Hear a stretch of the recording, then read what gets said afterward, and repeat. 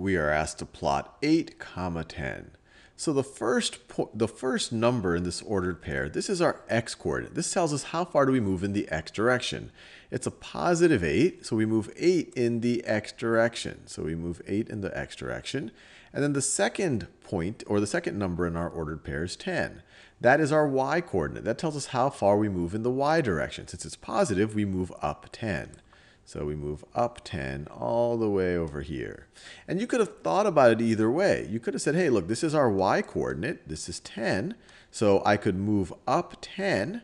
And then my x coordinate is positive 8. So I'll move 8 along the positive x axis, or I'll move 8 to the right.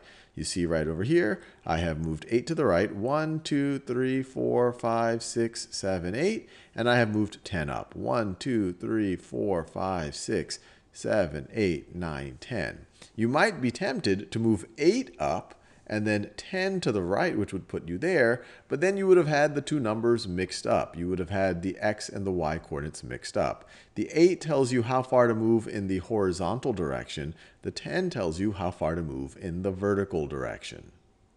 Let's do a couple more of these. Plot 6 comma 10.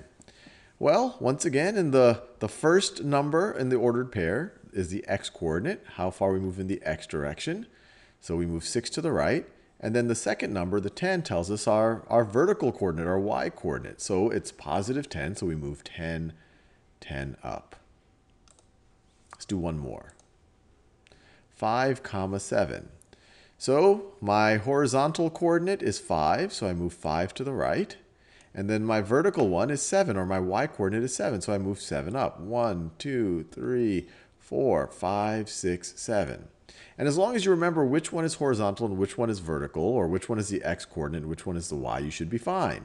You could say, hey, look, this is my y coordinate 7. So I'm going to move 7 up. And my x coordinate is 5, so I'm going to move 5 to the right, and it'll get you to that exact same point. This specifies exactly one point in the coordinate plane.